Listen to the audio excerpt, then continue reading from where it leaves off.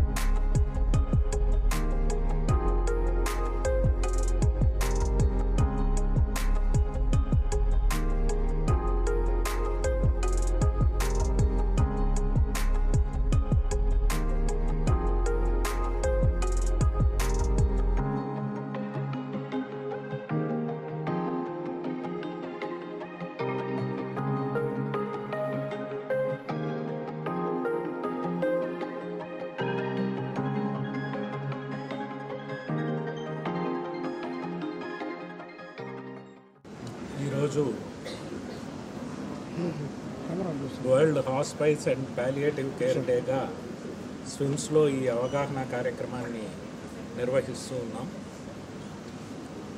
ముఖ్యంగా క్యాన్సర్లో చాలామంది మొదటి స్టేజెస్లో కాకుండా చివరగా వచ్చినప్పుడు వాళ్ళకి మనం పూర్తిగా నయం చేసే అవకాశం ఉండదు. ఏదో కొంత కాలము ఇంకా జీవితం ఉంటుంది. రకరకాల ప్రాబ్లమ్స్ వస్తూ ఉంటాయి. అలాంటి వాళ్ళు వాళ్ళ ఆయుష్ ఉన్నదాకా వాళ్ళ జీవితాన్ని తక్కువ కష్టాలతో వీలైనంత ఆనందమయంగా గడపడానికి కోసం ఏర్పాటు చేసే ప్రక్రియనే పాలియేటివ్ కేర్ అంటారు. ఇది మన బాలాజీ ఇన్స్టిట్యూట్ ఆఫ్ ఆంకాలజీ సందర్భంలో ఇది ఒక ప్రత్యేకమైన సర్వీస్ కింద స్విమ్స్లో అందిస్తూ ఉన్నాం. అలాగే కేవలం క్యాన్సర్లోనే కాకుండా గుండె బాగా దెబ్బతిన్నప్పుడు అంటే ఎండ్ స్టేజ్ హార్ట్ డిసీజ్ అని కిడ్నీ బాగా తిన్నప్పుడు దెబ్బతిన్నప్పుడు ఎండ్ స్టేజ్ కిడ్నీ డిసీజ్ అని ఎండ్ స్టేజ్ లివర్ డిసీజ్ అని అలాగే కొంతమందికి బాగా బ్రెయిన్ స్ట్రోక్ వచ్చి రికవర్ కాకుండా ఉన్నప్పుడు కానీ ఇలాగా కొన్ని రకాల జబ్బులకి ఎక్కడైతే మనము క్యూర్ అనేది అందించలేమో అలాంటప్పుడు వాళ్ళని వాళ్ళ మానాన వాళ్ళ కర్మకు వదిలేయకుండా వాళ్ళకు మిగిలినటువంటి జీవితాన్ని వీలైనంత సుఖమయంగా చేయడం కోసం ఉద్దేశించిందే ఈ ప్యాలియేటివ్ కేర్ దీంట్లో ఫిజిషియన్స్ సర్జన్స్ రేడియోథెరపిస్ట్ నర్సెస్ సైకాలజిస్టులు ఫిజియోథెరపిస్టులు ఈ రకంగా ఇది ఒక ఏడెనిమిది మంది స్పెషలిస్టులు కలిసి ఈ సర్వీస్ని స్విమ్స్లో అందిస్తూ ఉన్నాం. ఈ రోజు ఈ పాలియేటివ్ కేర్ డే సందర్భంగా ఈ అవగాహన కార్యక్రమాన్ని నిర్వహించి ప్రజలందరూ కూడా స్విమ్స్ అందిస్తున్నటువంటి ఈ ఒక చక్కటి కార్యక్రమాన్ని తమ తమ బంధువులు మొదలైన వారు ఎవరి స్నేహితులు ఎవరికైతే దీని అవసరం ఉంటుందో దాన్ని హితోధికంగా వాడుకొని ఇవ్వవలసిందిగా ప్రార్థిస్తున్నాను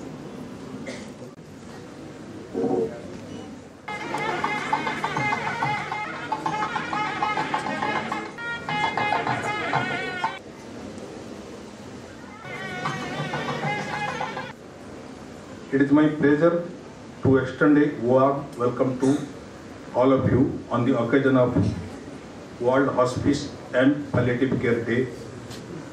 This day is usually observed annually on October 12th. This year we are commemorating this day on November 5th with the theme that 10 years since the resolution, how we are doing. It's a introspection of what we are in last 10 years, although the Department of Palliative Care in SVIMS is only two year old. The first World Hospice and Palliative Care Day was celebrated on October 8, 2005, founded by the Worldwide Hospice Palliative Care Alliance to spread awareness and advocate for equitable access to hope and palliative care worldwide.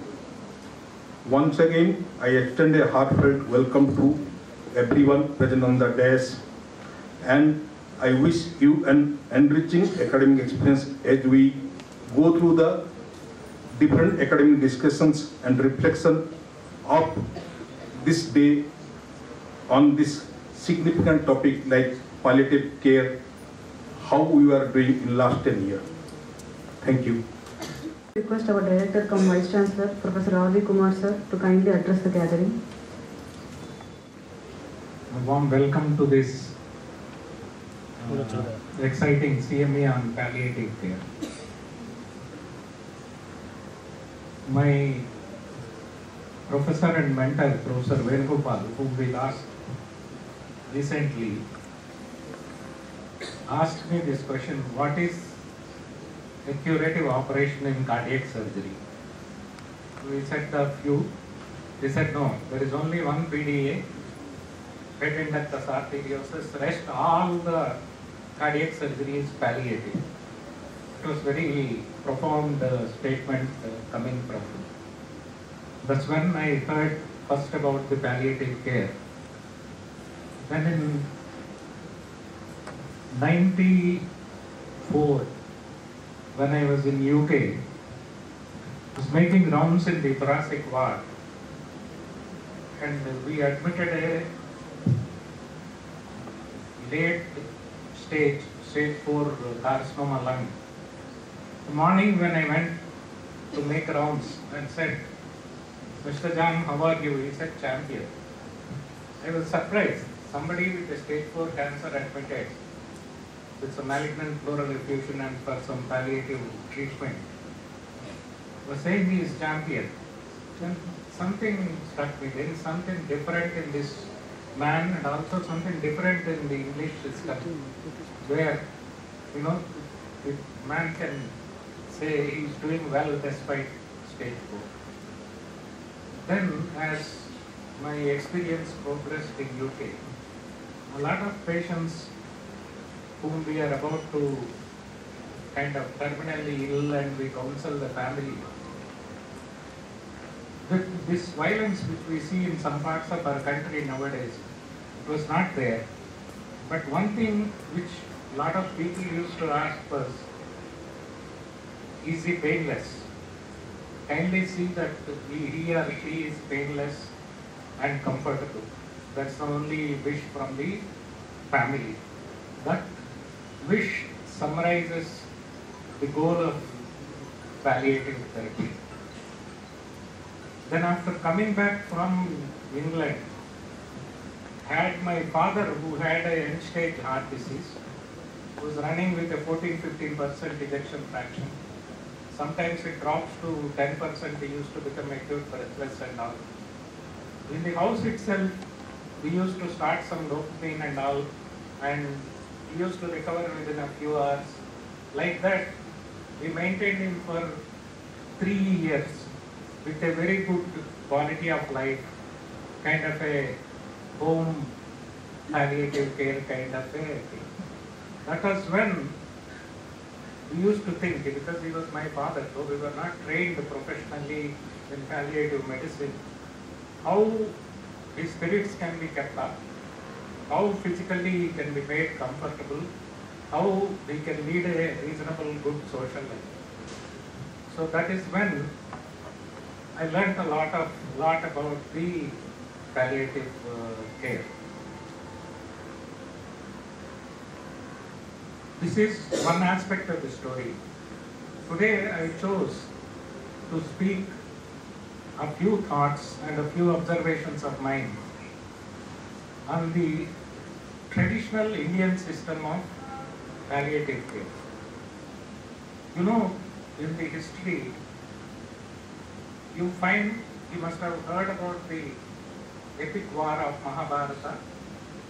Then Bhishma Pitamaha gets stuck very badly on 10th day of the war and he is on the bed of arrows and for his own whatever reasons he chooses to be like that for three, four months from that day when he was stuck with you know, arrows all over the place, bleeding, in pain, with a potential for infection, battle going around.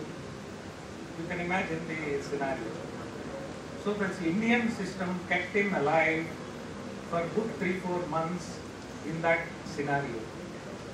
So that bears, at least I can recollect, that's one of the very eminent examples of palliative care in Indian thought.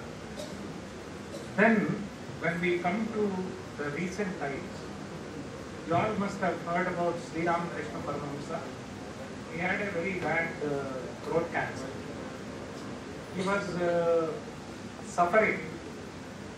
So a lot of his, uh, I mean, that time late 19th century, the oncology was not so very well developed. So they used to give some kind of uh, pain medication, etc. But the quality of life was very poor.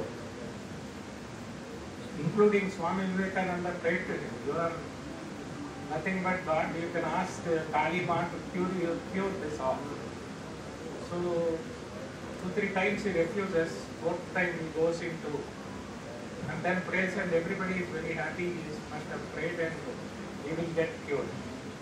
He comes out and says, I did ask Mother Kali, but she said, what if, if you are unable to eat food, the all other people, you are the one who are eating through their mouths, isn't it?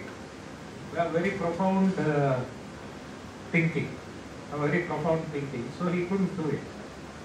Then, when he was getting closer to the death, one of the young brahmacharis asked him, how are you feeling? He said, it's very painful, it's all, uh, you know, troubling me a lot and all said. But uh, the young brahmachari said, no sir, you look, uh, don't uh, look, you are suffering, you appear to be in bliss. So, Paramahamsa laughed at him and said, this rascal could assess my correct state of mind. He was in that higher realm of consciousness where the, whatever is happening to the body, he could dissociate from it. So it is the body it was who was paining, not the true himself of Paramahamsa. So that is what summarizes the Indian system of care. You find a similar thing with uh, Ramana Maharshi also who had a cancer, who had a similar kind of a attitude. So what does this teach us? Can everybody become like that? You saw my, I told you about my father. My father was not a big saint or anything. He was an ordinary householder.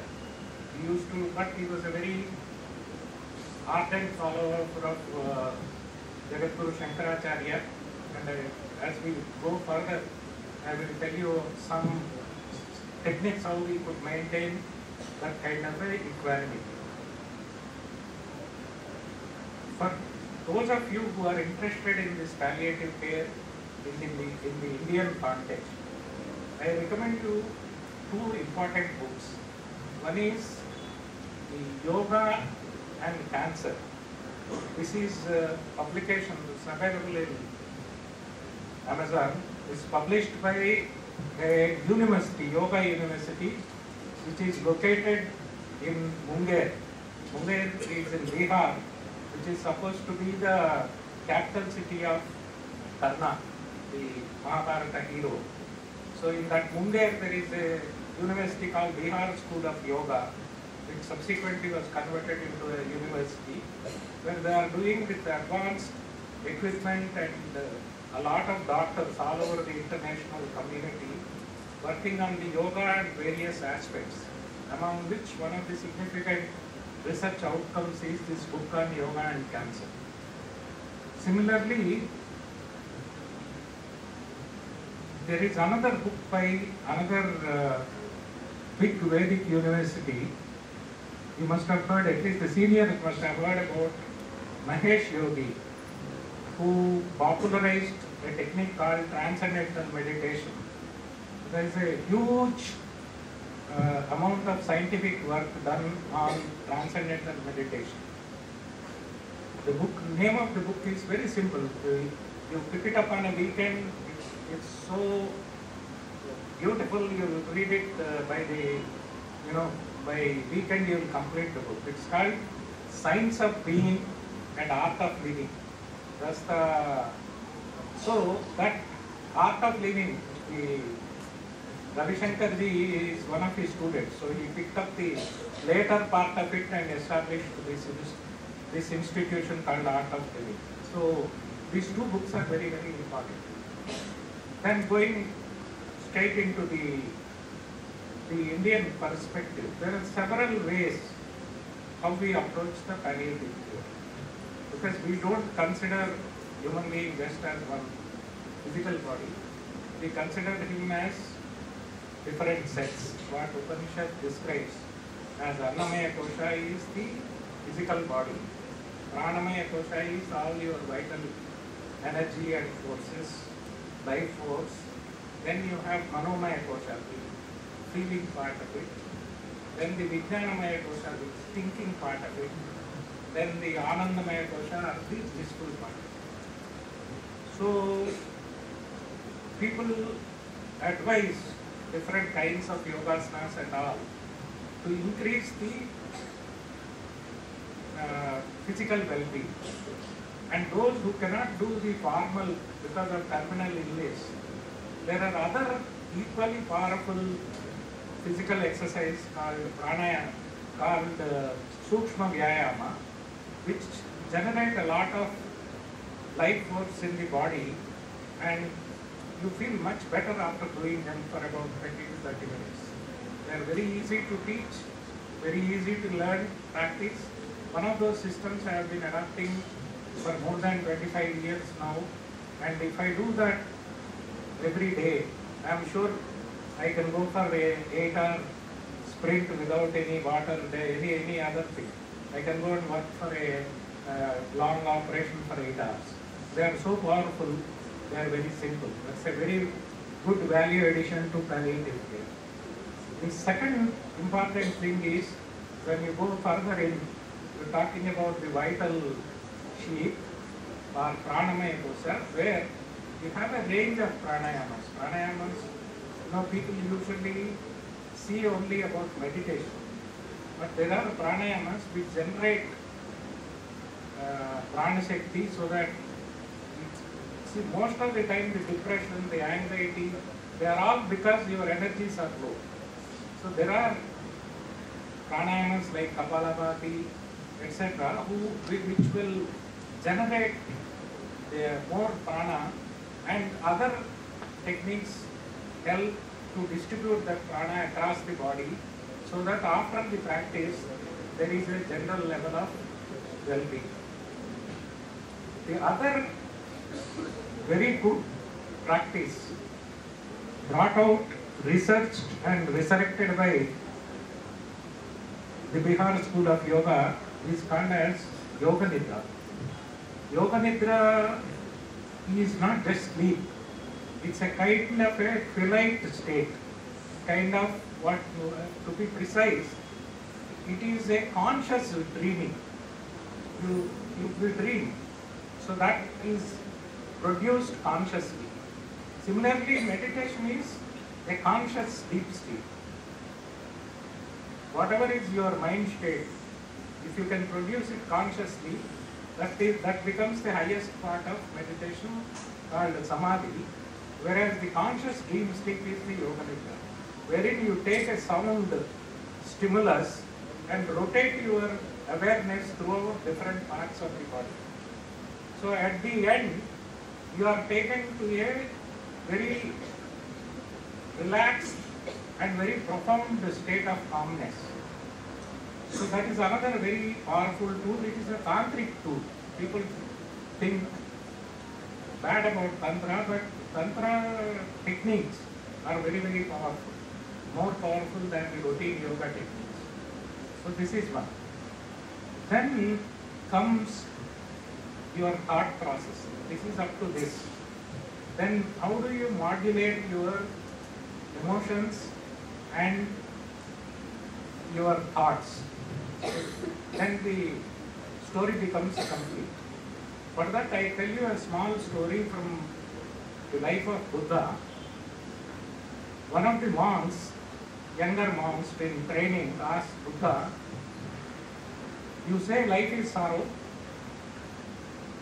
but you say your teachings are going to take us out from sorrow. But I realize you are becoming old, and you are becoming diseased. I am sure one of the days you may die. So where is the solution? You are yourself are suffering. Then Buddha thinks for a couple of minutes and gives a profound statement which forms the basis for the palliative care. He says, whenever there is sorrow, he says you are struck by two arrows. One is the first arrow is the physical arrow, whatever disease or injury or whatever you have. More important than the first arrow is the second arrow, which is your reaction to the illness or the injury. So, if to the suffering the first arrow contributes 10-15 percent, the second arrow contributes you know 85 to 90 percent to the suffering of any injury or disease. So by my techniques of meditation and lifestyle management, you reduce that 80-85 percent. So you cannot eliminate sorrow, but you can definitely bring it down to a manageable levels. That is what is the soul of palliative care.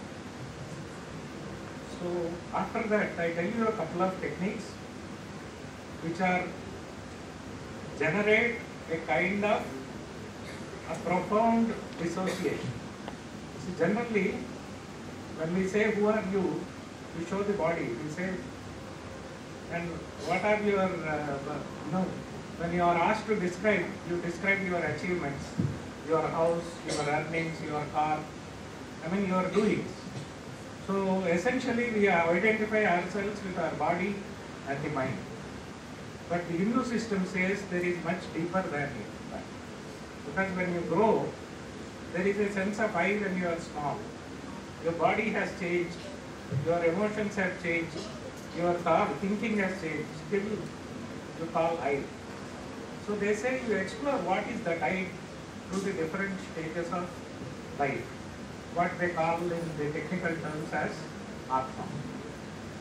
So the approach, the Indian approach to palliative care is to find the difference between this.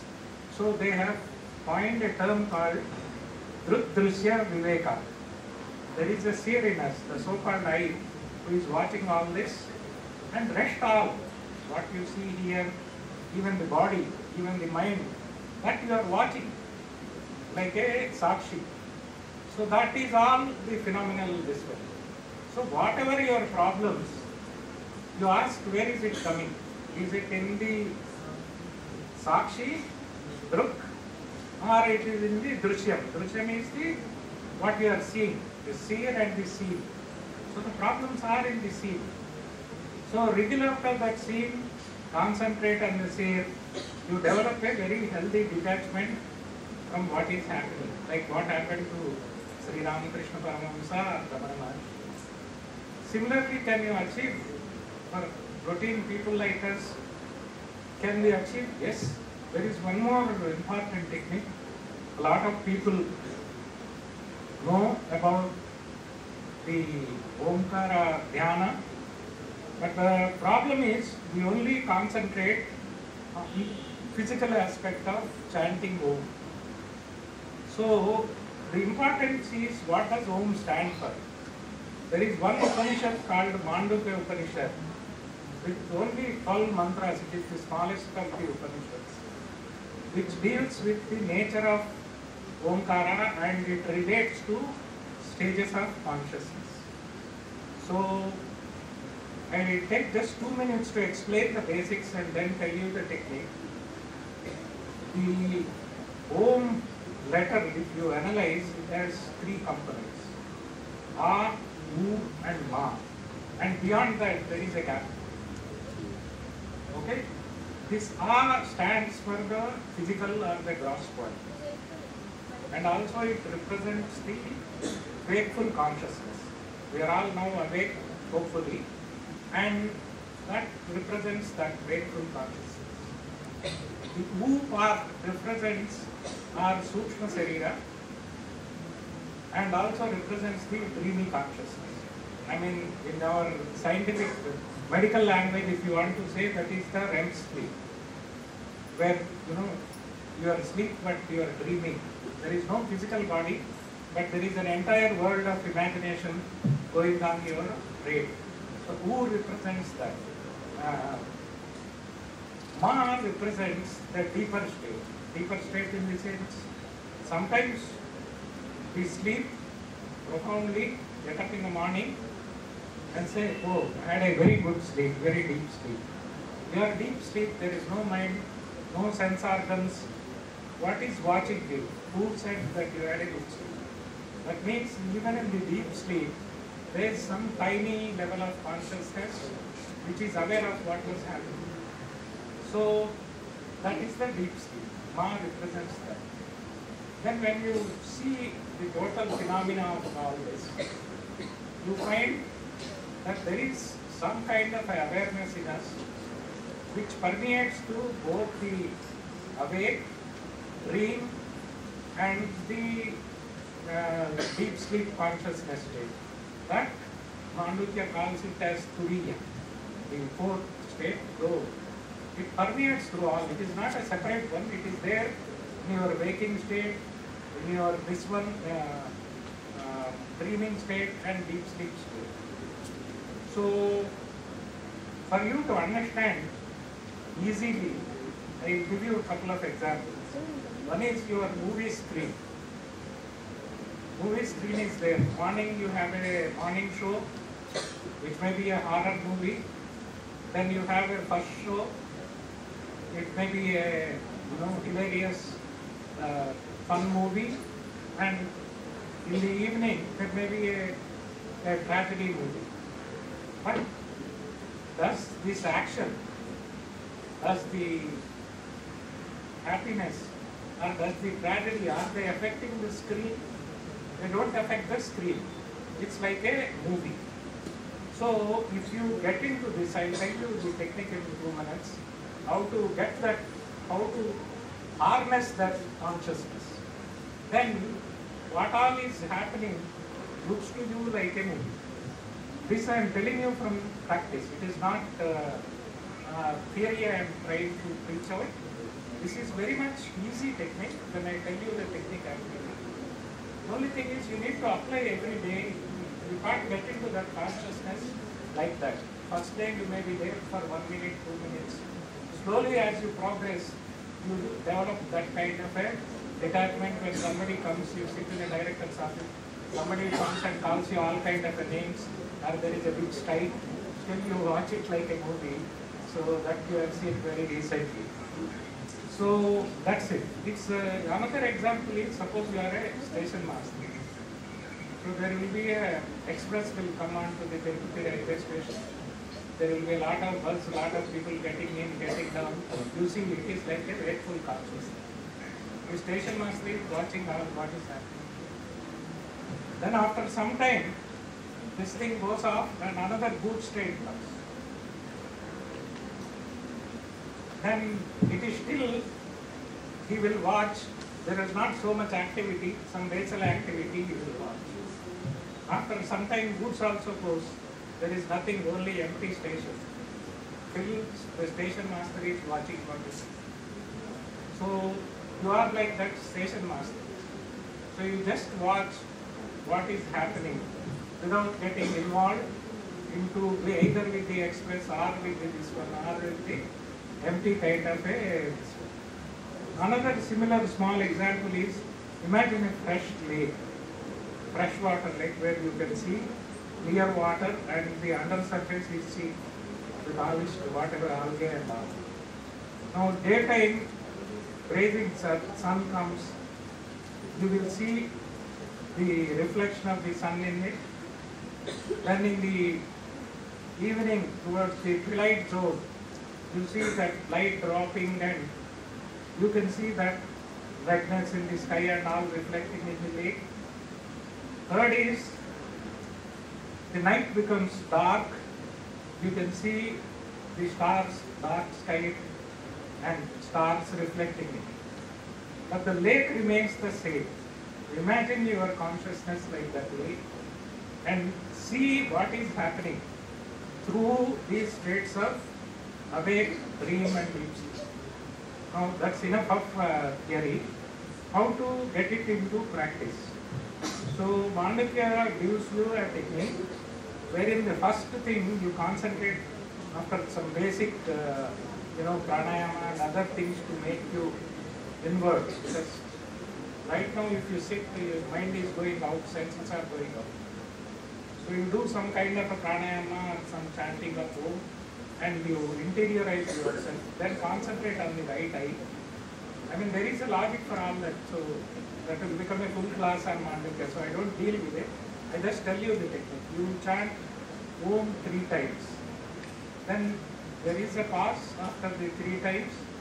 Then reflect on this. Say that I am this physical, I am not this physical body.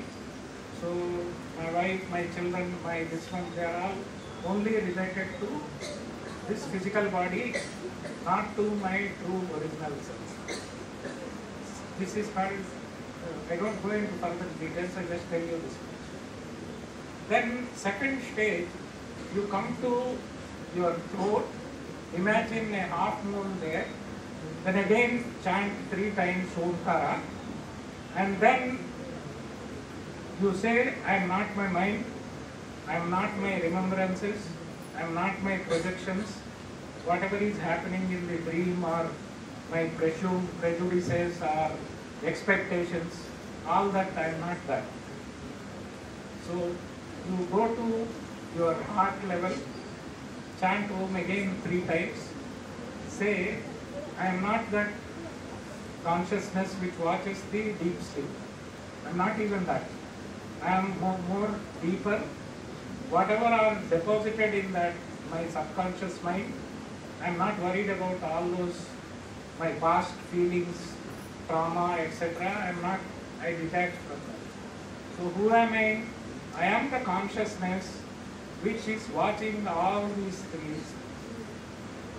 The conscious mind, the dreamy state and the deep state, but I am not part of it. I am only enlightening. Like the light lights the room.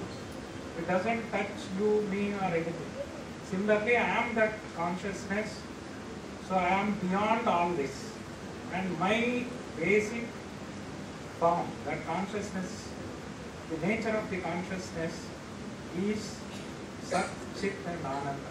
That's what you find in the popular poem of Adi Shankaracharya called Chidananda Rupa Sivoham Sivoham. So you take that itself as a mantra and chant for a few minutes, then remain silent. And try this as an experimental basis for one week every day. It may not take more than 10 minutes. Ideally, if you can do in the morning and evening. After one week, you see your own family members, your own friends in the working place will find a difference in you. Not only you, but the, the, the difference will be visible to people around you. Because you detach and start seeing it. This has a profound impact in palliative care. You can teach this kind of a meditation to them. Their amount of requirement for the antidepressants, their amount of uh, requirement for analgesics and anxiolytics, all that drastically comes down and they lead a much more happier life.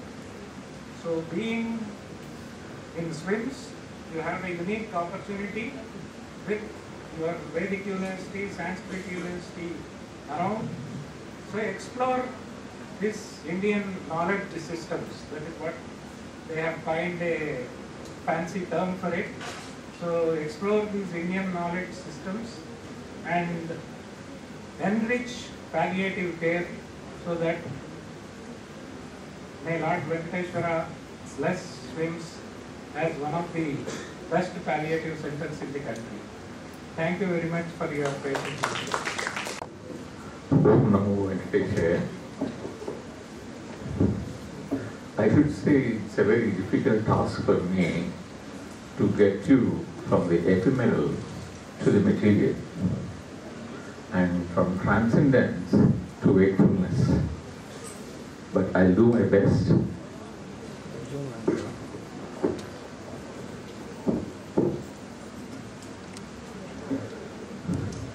Renal palliative care is a new entity which has been thought about by the National Kidney Foundation in around 2000, keeping in view of the magnitude of the kidney problem and the amount of the problems the patients are going through. And in addition to the bodily issues that they are going through, the technical advances in medicine have definitely prolonged their life. We are very happy that we have prolonged their life, but at the same time, we are not able to give them equally good quality of life. If I ask any one of you that how do you describe your life? So you would always say, I'm very happy in this life. I would like to continue like this. Of course, I know we do get into the centers of the cyclone and then get further, but we do go out and then be as normal and happy as possible. But at the same time, if I ask you that how do you like to feel during death? Then you would immediately close your eyes, turn your head, and then keep quiet. But really, or I probably do something to gain dignity out of my what I do. But when I'm unconscious, when I'm painful, when I'm very weak, who would give me dignity? I expect all people around me would give me dignity because if you don't give today, tomorrow you will not get the dignity. So let us make our people realize that we have to give dignity for those people who are passing away this world. And we all should live with an attitude of gratitude. Every minute that is given to us is a great help from the divine and we should live with gratitude of gratitude. So with this brief introduction, in the palliative care, most of you are trained as doctors. Doctors in the very primitive sense. We are all looking at cure, but there is care. So palliative care physicians concentrate on care and rest of all the physicians concentrate on cure. It is pure ego. So if the patient recovers, I am very much satisfied, it's an ego satisfaction. So the thing is we should go beyond ego, whether they recover or not, you are there by their side. This is what I have understood from what Cicely Saunders has written in her biography.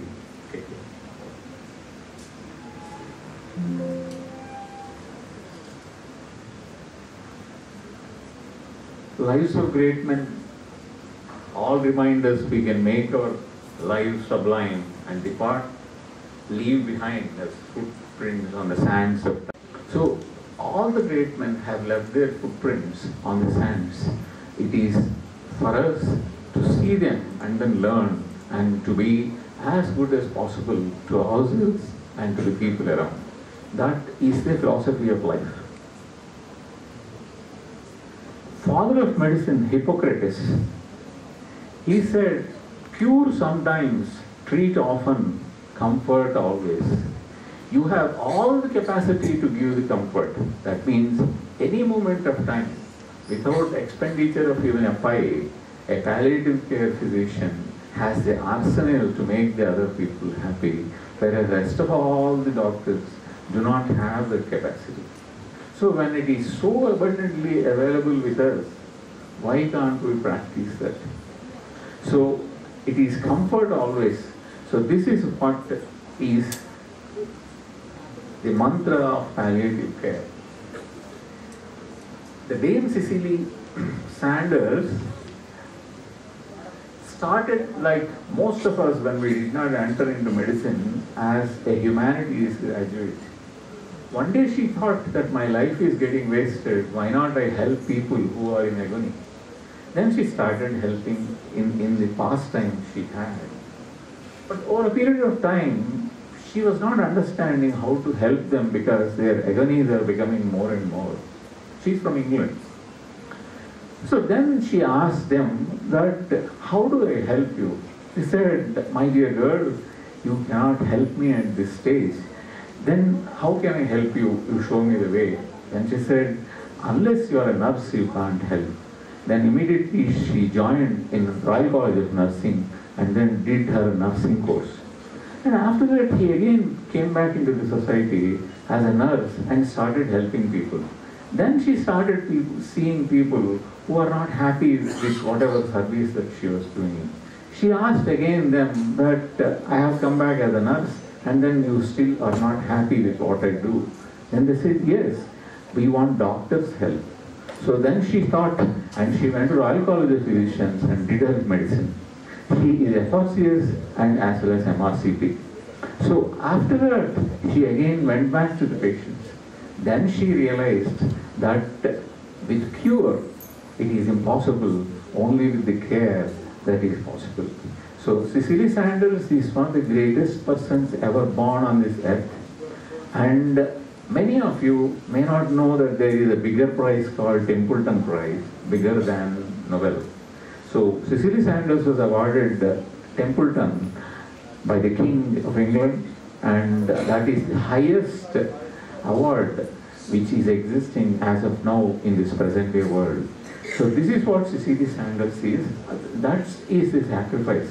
So most of the nurses who are there, I think uh, it's a very God-given uh, opportunity for them to help the patients. So this is when she was nurse, this is when she was doctor, this is when she received the Templeton Prize. This is her biography. It's a wonderful book, of course, I have said. The most important thing what she said is, you matter because you are you, and you matter to the end of your life. You need not think of anybody. You are the greatest, the only creation of God. There is no other person other than you in this world. When God Himself is so unique to you, why are you thinking about other people?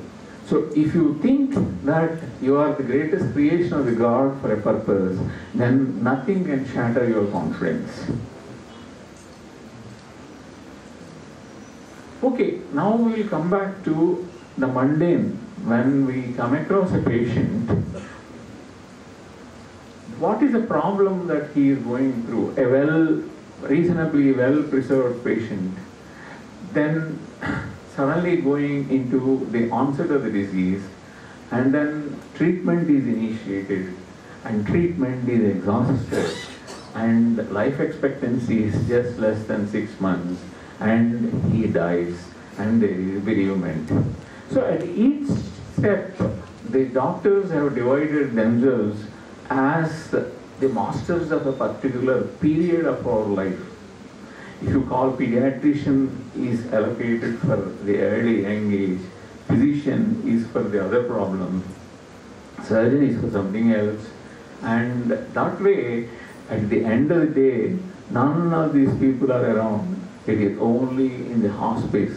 If at all we have hospice that much over a period of time, unless you youngsters really think of having hospice like in the West and uh, the care of bereavement. We all want to die very dignifiedly and then we all want our people to be taken care of during the hour of gloom. That probably two weeks time, who take care of our people? This is what the palliative care hospice would take care. So, keeping all this in mind, the non-communicable diseases are becoming behemoths. It is becoming really difficult to manage them, like uh, chronic heart disease, chronic lung disease, chronic liver disease, chronic kidney disease, dementias. All these things are becoming too big to be handled by a few trained personnel. As a result, the WHO thought that we should be able to do something. Now, there is a palliative care specialty, but unfortunately, not many people are trained in palliative care. It is for, it, for, for its specific reasons. Many people think that we are not respected by doing palliative care, and then we are only involved at the time of death. As a result, not many of the youngsters are taking up palliative care, but this is not so in the West. They are bubbling with enthusiasm. There are wonderful places where palliative care is, uh, training is available, and then good number of graduates are taking palliative care. So if you observe this, while the physician is see, this represents pointer.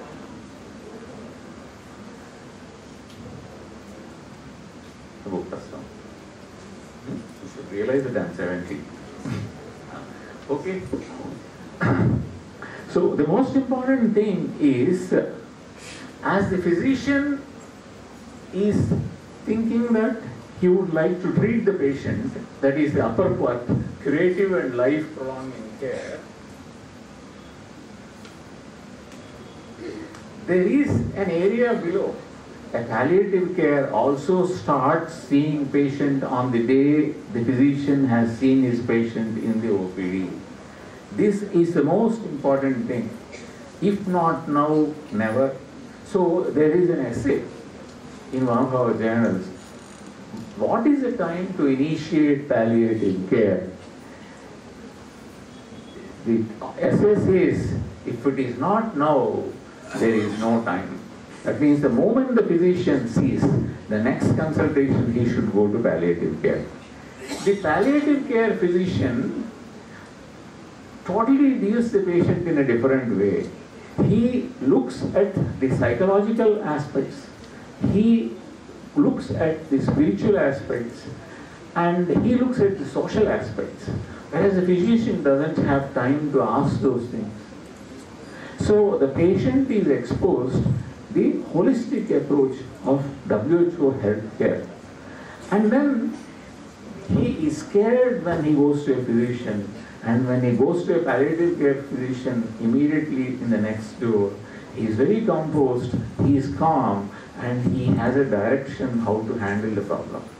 So this is what is happening as a great thought in most of the Western world. And this is what the WHO also wants us to practice. And then this is what has been taught to us in the courses that we have attended in the renal palliative care models. The other thing is prevention is better than cure. Don't wait for the patient to knock at your door and say that I have a disease and then you look into him and say that yes, you have a disease. It's too late. So the most important thing is uh, try to go into the interiors, try to go into the villages and then pick up the disease even before he or the patient comes to us. Recording So periodic, uh, uh, the village level screenings are very important to pick up the disease first. And as the symptoms increase, the physician is very clever. I have done my best, I cannot do anything beyond this. So the palliative care physician has to take over. See now, the initial portion is totally by the physician and just a speck by the uh, palliative care. At the end of the day, when it has reached a chronic refractory state, refractory kidney failure, refractory lung failure, refractory heart failure, dementia, total unconsciousness, then the physician raises his hands and say, I have done my best. Now you have to knock at some other door. This is the usual story for all the medical specialties. But in nephrology, what has happened is we started taking these people during some stage into dialysis. And we are fighting so hard to prolong their life, but we are not able to ease them from certain of the disturbances that are occurring in the body because we are not able to remove the toxins fully because our equipment are not capable of handling that much removal of the toxins which are happening into the body. As a result, now the patient is at limbo. He is neither good, but he is progressively bad. And he is becoming weak, he is becoming frail, and a day would come that he cannot tolerate dialysis. And nephrologist says, unlike physician who has given up earlier, now nephrologist gives it up and says that this is beyond my scope. Because you are not going through transplant, so I just leave you in the lurch. So then where has to go? Then he has to go to the palliative care physician. But luckily in this model, the palliative care physician is all through with the patient. So he is not flabbergasted overnight. So he has been with the patient and then he is directing the patient. And ultimately he will go through end of life care. Usually one, one and a half years before death, that period is called end of life care.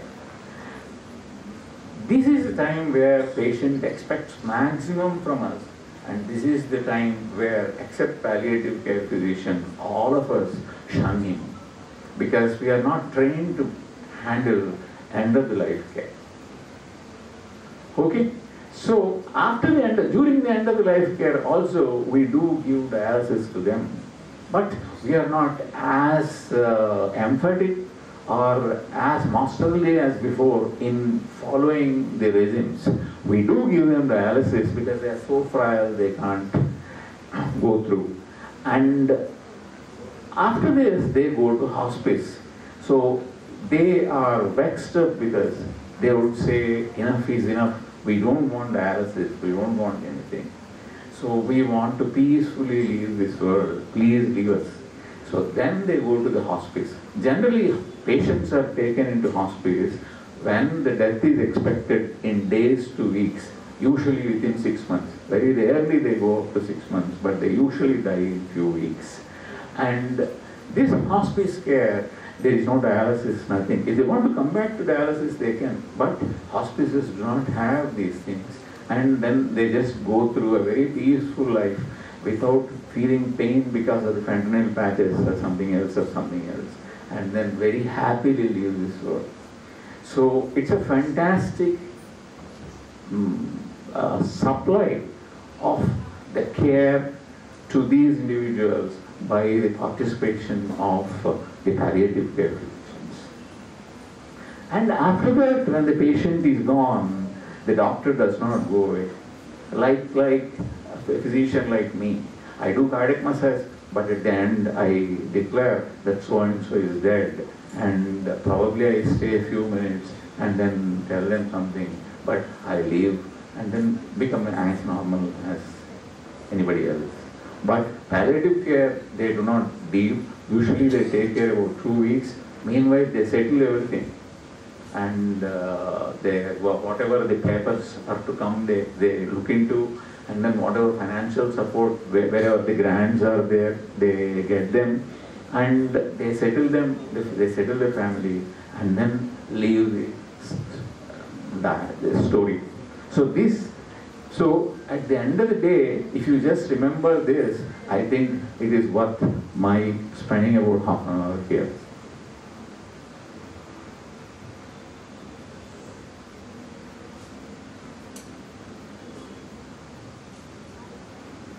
So this is what, from nephrology side, as a preventive palliative care, we go into the uh, villages or we go to the schools and then we do school health program. We have picked up several abnormalities that they really do not know that they have, and then we could do something worthwhile for them. So palliative care is a type of medical care that helps people with serious or life-threatening illness to live as well as possible.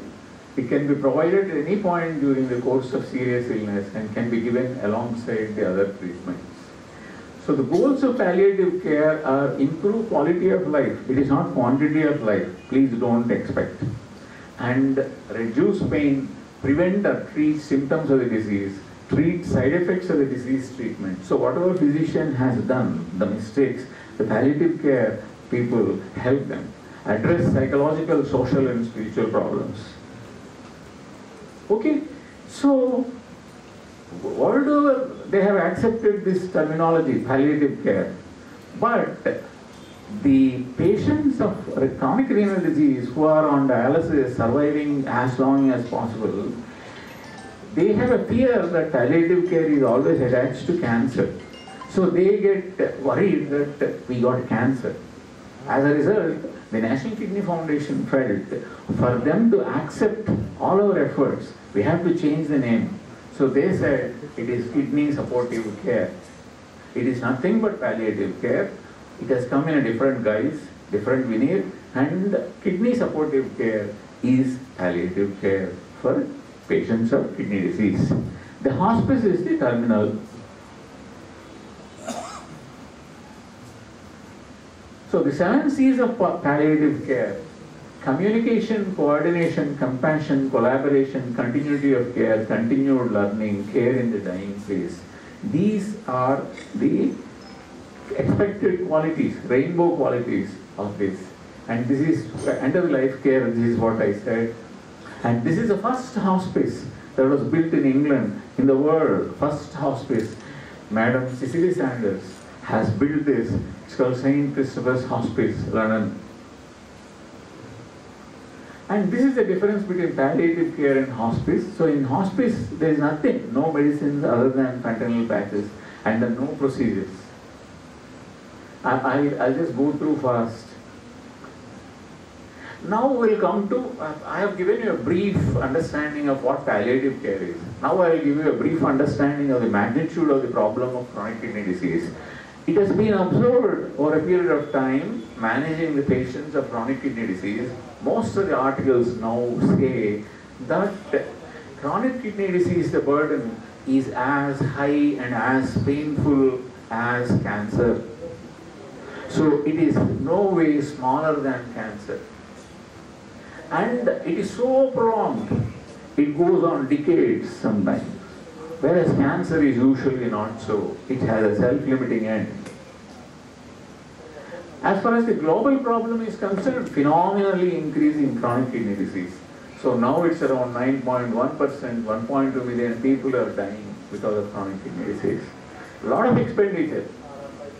And if you really look into the existence of the disease in the society, it is phenomenally very high because it's like an iceberg. What we see in our OPDs in, in our wards is small, very small.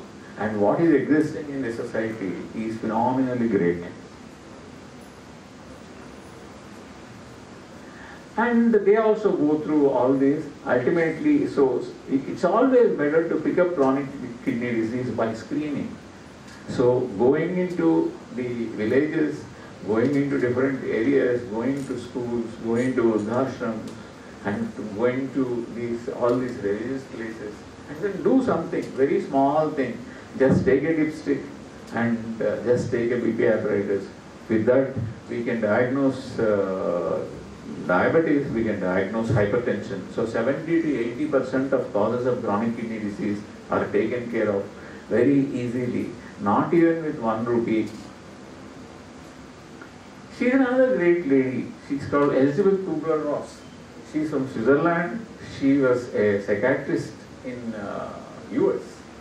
So anytime you tell the patient that you have a disease, he is damn scared and he goes into depression. So looking at this, she has brought out this model. This is called the grief stages. The denial, anger, bargaining, depression, acceptance. The most important thing is try to note down the phone number of the patient that you see for the first time in your OPD because you are a villain there. You have told him what he has. All through, he was in dreams, he was in ninth cloud, and suddenly you have uttered something which is true to your heart, but it has hurt him. So, follow him and try to see that he will come back after the depression to you or organize it in such a way that he will pass through all these phases fast and then he will go through the treatment. Please read this. This is a very wonderful uh, thing. And uh, Elizabeth Kubler-Ross has written wonderful books. The Death and Dying is a masterpiece.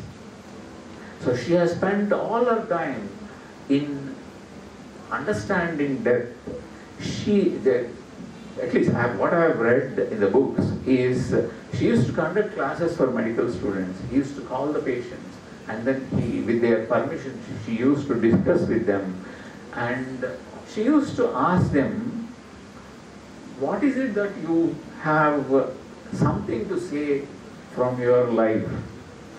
Then people of different races, different financial status, different positions, different educational qualifications said usually five things.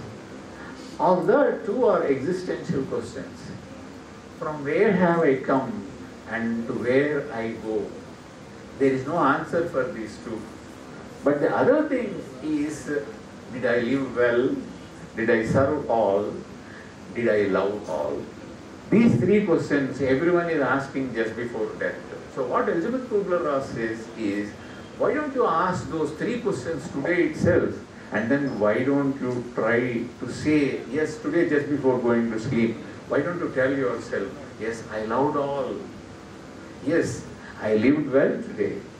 And so this is what she expects. If you start doing like this, without any remorse, I think you will pass into coma and then leave this world. Anyway, these are all the features of various systems of the chronic kidney disease. I'll go through fast. Umpteen number of uh, the painful processes take place in the kidney. So all these things we have to address. It's very difficult for a nephrologist to address all these things. And in some of them, palliative care physicians are experts. So the best thing is let all our postgraduates learn from them and so they do, they do very well in their practice in addressing these things.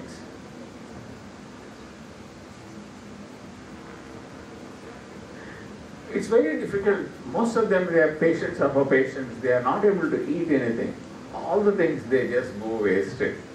During my fellowship in Canada, it's a very light posting, I used to think, because only nursing home patients come to me during those three months. Most of the times they just lie down. They don't even eat food.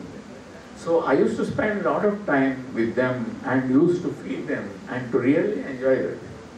So very costly food is just thrown on the table and then they go away, the nurses, because they have some work to do. They can't just stay like that. Whereas I'm there from morning till evening, I really used to enjoy feeding them. And uh, so somebody has to be there by their side, coaxing them to eat. If they don't eat, they get malnourished, they become protein deficient, and then they die very fast. All our efforts will go waste. And uh, neuropathy, very sad thing. They'll not be able to sit, they'll not be able to lie down, they'll not be able to stand, they are not able to sleep.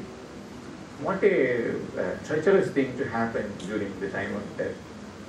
Uh, you should uh, watch your dialysis unit, just walk from one end to the other. You will definitely see what is restless leg syndrome. When they lie down on the bed, they can't keep their legs uh, without moving. So difficult for them. And they have good drugs for them, and then uh, the palliative care specialists are there. And another thing is, when we just lie down and then we don't work, our muscles become atrophic, they become cachexic. They are not able to walk. And uh, so, some exercise, let them just walk about, that's enough. I don't take time to on these things. Uh, This is another trajectory that all of you have to take in your mind. It has been identified that all of us will go through death in one form, mostly. There are people who live their life very happily and suddenly drop down like this. I'm just speaking like this, next moment I'm not there. This is what, what happened to Dr. Abdul Kalam. Most fortunate people, not many people would get a death like that. They, they don't suffer anything. See, this is only 7%. Unfortunately, trauma accidents, we really don't consider that as a very pleasant event because our people would think very bad and then they go into depression if we die in accidents. But if we drop dead like that, all of a sudden with a healthy heart and then a good sane mind. So the second other thing is terminal malignancy. They also live reasonably well for a long time and then there is a reasonably rapid downhill. So cancer troubles, but it has a way out at the earliest possible, maybe five years, maybe seven years, maybe. So it's about 22%. And 16%, this is rest of all non-communicable diseases. Chronic kidney disease, chronic lung disease, chronic liver disease, chronic heart disease, dementias. So it is like this sawtooth. We are good for some time, suddenly we go down because of some illness. And we recover and we go down. So like this, it goes on for decades. So it's terrible for us, it's terrible for the eh, people around who are looking after. And Alzheimer's disease. So we are totally oblivious to what's happening, but people around are really suffering like anything. So the best thing is to die like this, and it's not in our hand, but this is avoidable. If you avoid diabetes, if you avoid the, uh, the hepatitis B infections, and if you avoid hypertension to a great extent, and uh, stop smoking to a great extent, we can escape this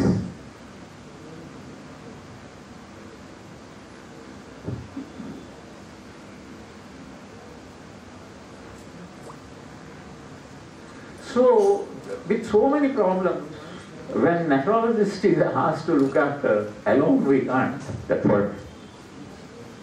So then we go into supportive care. So at the supportive care, at every level, we want palliative care people to help us. So this is what the National Kidney Foundation in 2015 has done. It has started kidney supportive care and asked all the major countries to be part of this exercise and most of the uh, countries have fallen in.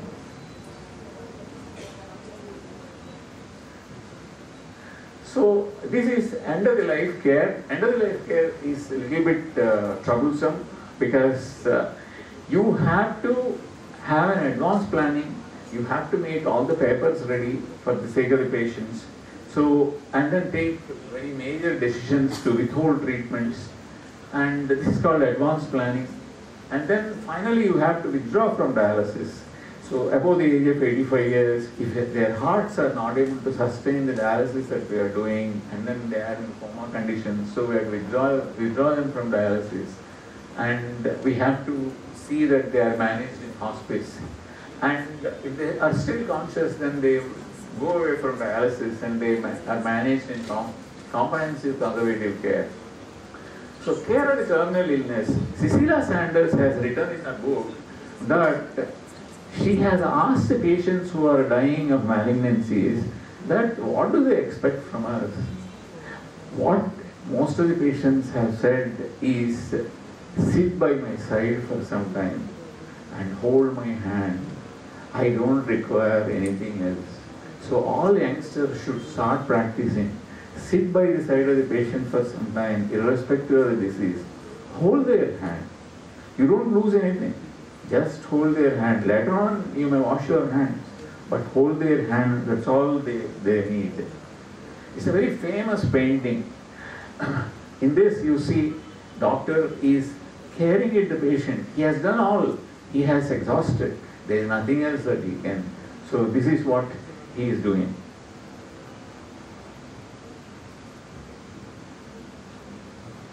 Okay, this is the experience of our unit over the last 10 years.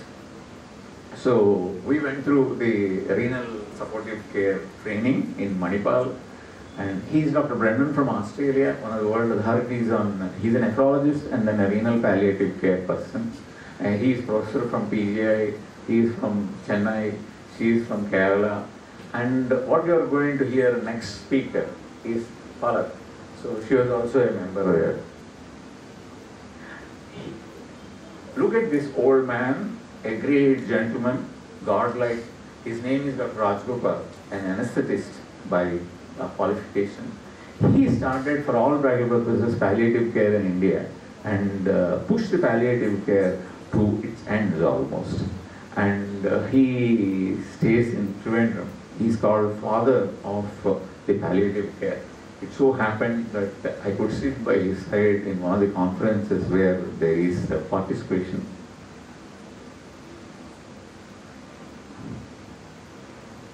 And these are all our publications on various aspects of palliative care from our unit. This is for as far as nutrition and then uh, malnutrition from the patients of uh, dialysis. And this is their branch chain amino acids. They have very low amino acid levels. As a result, they, uh, their immunity is down and then they are prone for infections. And this is after supplementing L-carnitine, they get back their muscle powers. And this is the exercises, how do they make the bones supple and then do them exercises. This is what we have done in peritoneal dialysis. And comprehensive, so this is what we have written myself, Palat, all in uh, palliative care uh, journal, an article. And the most important thing is we always forget the caretaker, the phenomenal burden the caretaker. See, for example, just recapitulate our mother. Let us say we have, we have gone through fever for one week and we don't sleep in the night. So mother has to do every household chore during day and the night she becomes sleepless. That is care. So these caregivers are subjected to phenomenal strain. So what are all the problems they have? So this is published in Indian Palliative Care, burden, coping mechanisms and quality of life in them. And then uh, what is stress coping of the patients undergoing maintenance dialysis. This is with home science lady, I have done it. And then factors influencing scales of burden. So how to calculate their burden, how to magnify, look at the magnitudes of that. And then what is the quality of life, how to improve. So it's also in palliative care. And then the employment status. At the end of the day, when we are spending lakhs of rupees, are we taking them back to the employment? Not even 25% of the people are able to go back and then serve. So we have to think of doing something also for their uh, support. So this is published in Indian Nephrology. And then uh, they have a lot of pruritus, what exactly the changes take place. That is published in International Journal in, in Hemodialysis International. And this is uh, the extent of pruritus, how to manage all the disease accepted in uh, Saudi Journal of Medical Sciences. And uh, there is a last, Emily Dickinson, I like this poem very much. If I can stop one heart from breaking, I shall not live in vain. If I can ease one life, the aching, or cool one pain, or help one fainting robin unto his nest again, I shall not live in vain. That means that day is enough for me. So thank you for this opportunity. So uh, our next session uh, will be a virtual one. So I take this honor uh, to introduce our next guest speaker, Dr. Gayatri Palat ma'am, uh, to the gathering. Ma'am is a professor and head Department of Pain and Palliative Medicine, MNJ Institute of Oncology and uh, Regional Cancer Center, Hyderabad. And uh, ma'am is currently working as consultant to World Cancer Collaboration Canada. And ma'am is also member board of trustee International Children's Palliative Care Network ICPCN and executive committee member Pain Relief and Palliative Care Society Hyderabad. Ma'am is also course director for uh, fellowship in pediatric palliative care Hyderabad and Center for Palliative Care. And uh, ma'am is member in the editorial board of Journal of Palliative Medicine and uh, trustee at uh, Hyderabad Center for Palliative Care Trust. Ma'am also worked as uh, Board of Directors, International Association for uh, Hospice and Palliative Care, Texas, from 2010 to 2015, and uh, palliative care consultant at uh, PACT Machine, which is a program of action for cancer therapy, which is a mission of uh, International Atomic Energy, IAEA. With this uh, very brief introduction, without any further delay, let me welcome ma'am to deliver a talk on standalone working model of palliative care and hospice. Thank you. Ma'am, uh, please join me. So it's a great privilege to here amongst you. And it was always, as, as always, pleasure listening to Dr. Uh, Shiv Kumar sir. His um, passionate, uh, his passion for uh, uh, his subject uh, and, and his passion for so providing palliative care to people who can't get all right. So thank you very much for such a very enlightening session. So when uh, Dr. Raj asked me to do a, um, um, some kind of presentation on palliative care, he informed me that there's already so much happening in SVIMS and, uh, and there's already soon you're going to start a full-fledged palliative care uh, um, you know, unit there in the things. So it, I really want to congratulate all of you that is going to happen. In that context, my presentation would be around just reflecting on what is that required if you plan a palliative care program in your hospital.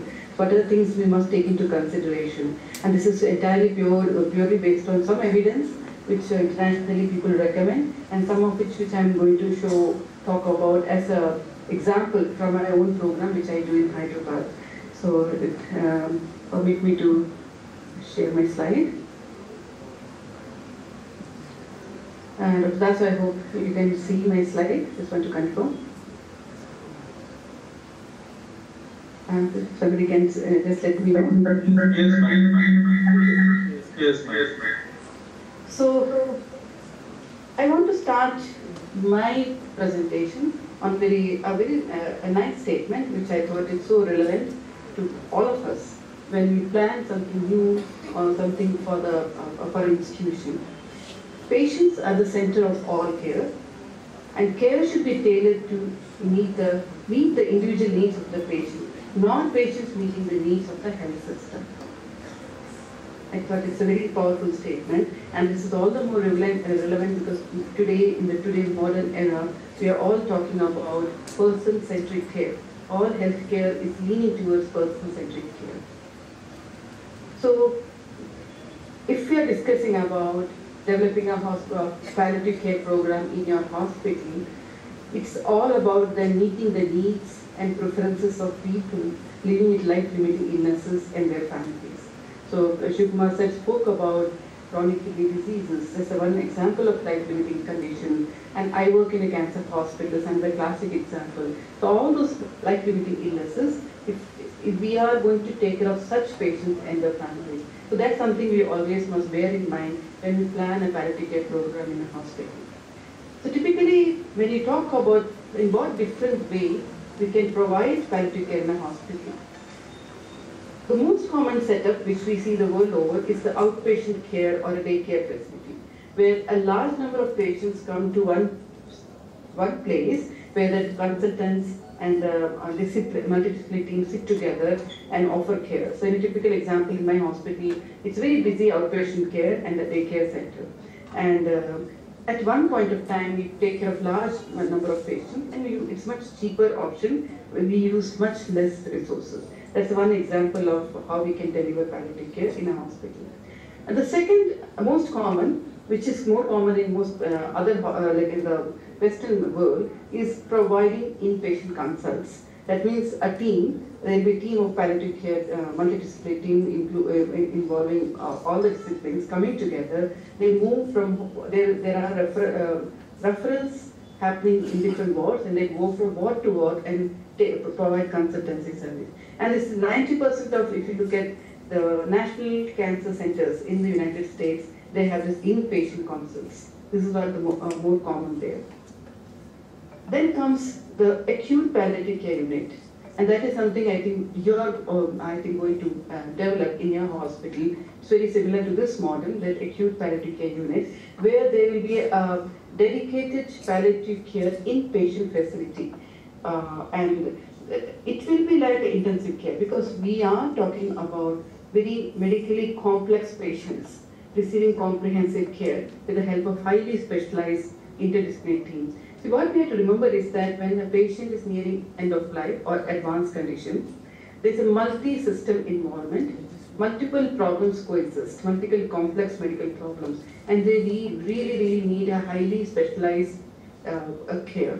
And for that, like for example, what we do typically in acute palliative care unit is patient may come with severe excruciating pain. There's a rapid titration of uh, uh, pain uh, analgesics, titration of uh, and giving pain relief. We talk about palliative sedation for refractory symptoms like delirium or dyspnea. So these are very complex, difficult symptoms which which are being managed because they they'll have their own staff highly trained and they're doing just that. So this is an example of an acute palliative care unit. And then more and more there's a uh, trend of uh, providing, offering palliative care in emergency and critical care. What we have to understand is that when a patient walks to emergency, a, a huge significant amount, a number of patients who come to an emergency are with some chronic complex conditions and they come with some acute exacerbation. Classic example is like Shiv Kumar said, chronic kidney disease, they become extremely dyspneic and they rush to the emergency. So it is a condition which is a chronic kidney disease, but they have some acute exacerbation. So having a palliative care team right there in the emergency or in the critical care, sometimes it's very helpful to deal with those patients better. The better outcome is uh, found when you have such team present in the emergency or critical care. So let's talk about just the palliative care un- uh, a unit which uh, which all of us may you are going to have in your hospital or I already have in my hospital. What are the things which we must take into consideration when we set up such unit in a hospital? First of all, we have to define a target population. Like uh, SVIMS, you have uh, all the broad and super specialties, uh, my understanding. And so you'll have different uh, end stage conditions. You will have chronic kidney disease, cancer, chronic um, heart diseases, neurological conditions, geriatric patients. So who's going to be a target population when you set up that unit? Is it going to open to all or particular disease conditions? So for example, in my cancer hospital, I look after only cancer patients, whereas in my community program, I have all kind of uh, end stage conditions which I look after. And so the, the program will be then catering to the specific needs and, and uh, inputs based on that uh, disease condition. So that's something we have to bear in mind. Who is going to be our target population? Always it is advisable to start small. Just think about some disease conditions where you're comfortable dealing with before you expand the scope to bigger population. Let's understand our patient profile. Whichever disease condition you talk about, the patient profile is going to be such a way that they are patients with very restricted mobility. They can't be on their own. They need support. And so often they'll be accompanied by more than one caregiver. In a typical hospital, we allow only uh, one caregiver to come with the patient. Rest are, we say, stay outside, there are visiting hours, come only during that time. But here the situation may be different. They may need more than one caregiver and often in end of life care, definitely the family wants to be around. So when we plan such a unit, we have to take into consideration this aspect. Like uh, they, these are the people who have very restricted mobility and they need more support. So when you plan such a unit, we should have easy access to patients. We should allow family and caregivers. we should be comfortable waiting area, not just for the patients but also for caregivers. Dr. Um, Srikumar sir mentioned about caregiver distress, caregiver stress. Majority of the stress builds up when the caregiver and the hospital because they take up so much of responsibility, running around, helping the patient, and then doing the setting, going for the labs, getting the things done in the um, pharmacy, paying the bills. They have to put tremendous amount of um, stress. So taking care of their well-being, we, we call caregivers as hidden patients. So it's important that uh, these uh, families are also equally supported. So they, their comfort should also be taken into consideration when you're planning such a unit. And as I said, these patients are, cannot walk. So wherever you're going to set up the unit, I have seen in many hospitals, palliative care is something, oh, okay, that's not their top in my prior list of priority of list uh, things. So, okay, so after thought, okay, you take that one last room, one corner room where no one is using that, then why don't you open up that room and start palliative care? This is a usual like kind of response people have because that is not at the top in the, in the, uh, the list of things. So often when that, that happens, there's hardly any access and these patients can't go step up, go take the steps and they one corner room, no ventilation, that is not helpful. We are talking about a very highly um, special need pa- uh, required patient who cannot walk. So we should have a, a program where you have a more, more open space with good waiting area, good access to trolleys and wheelchairs.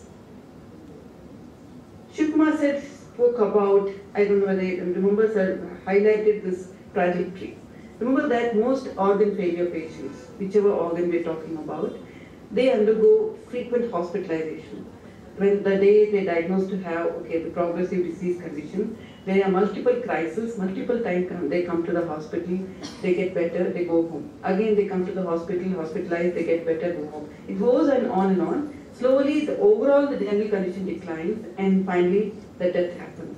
This is a trajectory Shiv Kumar sir spoke about in just uh, uh, in our previous presentation. So, what we have to realize is these these are the patients who require frequent admissions, multiple times admissions, not one time that fracture, get admitted for seven days, recover, surgery over, go home. No, they come back again and again, again and again. So, ideally, palliative care should be integrated along the disease trajectory as early as possible and entirely along the disease continuum. And when they seek for admission, they should have that provision to have a comfortable admission. Uh, so when you plan such center, this uh, recommendation, again, this is a recommendation, that we should have the unit very aesthetically designed so that they don't come feel bad about getting coming back to the hospital and getting admitted because this they're spending their lifetime coming back again and again. And it is not like Shukma said, it's not just a matter of few days, maybe one full year or few years they come back with repeated admission. So if they have a nice aesthetically designed rooms, comfortable beddings, furnishing, storage space where they can keep their belongings comfortably, and there's a provision for the family members to stay uh, comfortably. I am coming back to this family member again and again because they are also accompanying the patient all the time. They're exhausted, tired. They need to sometimes um, uh, work. Um, if they're that kind of patients uh, coming from that background, they can work from there if uh, they are not from poor background. So, but the point I want to make here is that both patient and the caregivers should be made as comfortable as possible. Most of these patients, especially as the disease progresses, they spend long hours in their bed, or maybe they never get up from the bed, except maybe going to the washroom, or not at all. Everything is happening in the bed. They don't get to see day and night at all, totally cut off from the world. That is not like we wish for ourselves, isn't it? So we want to see the nature, but in a hospital you can't. But at least is the least we can offer. Moving the bed to a, a place, tall, tall windows, nice lighting, large, uh, and special beds where the patient can still see what's happening outside. So they still feel some connection to the nature. And that's something we should bear in mind when we're planning a setup. I am just sharing a picture of a public hospital where there's a small, nice palliative care unit in Telangana. It's a very rural uh, area hospital in the um, in the Chevella Mandal of Rangareddy district. They, they started this palliative care unit. So if you see, we were involved in the planning stage, so we planned in such a way that all the beds were placed next to nice windows with light, enough lighting coming, and the families are provided a, a nice resting place for them to rest by the bed, bedside. So in the limited resources also, it's not so difficult to plan to make sure that they, they are, uh, even though it's one ward, but still the family can stay as a unit and they are, uh, they are supported. So this is just an example. And similarly, these patients, they, when they need to go to bathroom or to, uh, toilet, they may not, they may invariably need wheelchairs or sometimes even trolley. So we must plan the toilet facilities in such a way that it's a friendly wheelchair access and they can use the facility uh, according to their need. So there should be a dis, uh, disabled friendly access to the toilets and bathrooms. Similarly, remember that our patients, all their life, they may be used to certain kind of um, toilet habits. So suddenly if you provide seating kind of commode, they may not be comfortable. Or it can be other way around. Patient may be very sick, they can't squat and they need seating. So there must be provision for both, depending upon the population you're going to cater. So this is something we don't think too much in planning, but in, uh, we give due consideration to these aspects when you're planning a palliative care unit. And of course, our patients are very frail, very fragile, they're high risk for fall. They always one one fall and that will be end of it. They'll have developed some uh, major fractures or injuries, so their risk for fall, they're very frail. So we must have the fall risk, um, um, all the provision to prevent that, like removing unnecessary clutter, have the railings as they walk, in the bathrooms they have railings to hold, and maybe night lamps as they walk along, and enough lighting so that they don't fall, especially these things happen in the night time. So for this uh, assessment and uh, taking care of that. If we have the access, maybe um, take once in a while if they can really be mobilized. Uh, we encourage all our patients to mobilize as much as possible. Only very, very end of life care, they stay in the bed. Otherwise, when there's nice, beautiful sunshine outside, we say, why don't you take the patient out? So if your hospital has that provision, I, I, it will be very ideal if the facility is closer to such space, green space, and they can be wheelchair-friendly walkways, pathways can be created so they can be moved out. Staffing, last few slides. Uh, staffing is one big issue because remember that palliative care, other than that building or the ward which we create, it's not a very high-end proposition. We are not discussing, uh, we are not investing on high-end machines or very expensive medications. But our major expense goes towards staffing. As I said, patients are very complex medical conditions, so they need high staff-patient ratio. So normally they talk about not just the high staff-patient ratio, but skilled uh, workforce. They should be adequately trained. They need really good training to take care of such patients. As you must be aware that now there are postgraduate training programs happening, so more and more specialist palliative care are come passing out every day. Similarly, nurses, recently the nursing council has uh, started a one-year fellowship in palliative nursing. So uh, these are all more and more we are going to have a skilled workforce very soon in, in, in our um, support, facilities. So workforce means multidisciplinary. We need social workers, counselors, pharmacists, physiotherapists, maybe uh, spiritual um, healers, um, all uh, they all can support a patient. So think about a multi, good multidisciplinary team who are trained to take care of such patients. Ideal, uh, this, the recommendation is that for uh, 1.5 patient, uh, one, one nurse. But that may not be possible in most of the Indian facility. In, in my center, we have around uh, six to eight patients, one nurse. Very high nurse patient ratio compared to my other wards. So, but I insist on having this kind of um, high nurse ratio. How many physicians do you need? Again, depends upon number of beds you have, number of services. Many programs, the physicians also, they go for home visits. So, are, are, is your doctor going to make the home visit or not? And number of educational activity he may have to undertake, research activity, what is the administrative responsibility. Based on all that, number of physicians you have to decide.